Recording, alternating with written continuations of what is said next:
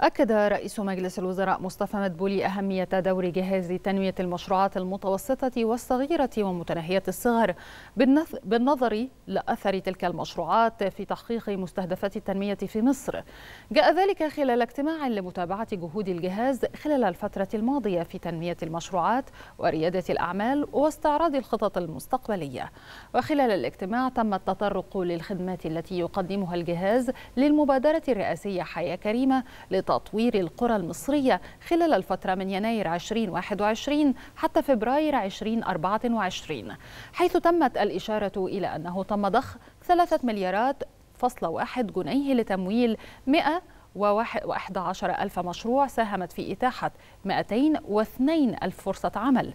فضلا عن توفير 318 دورة ريادة أعمال وتدريب و6.294 متدربا ومتدربة.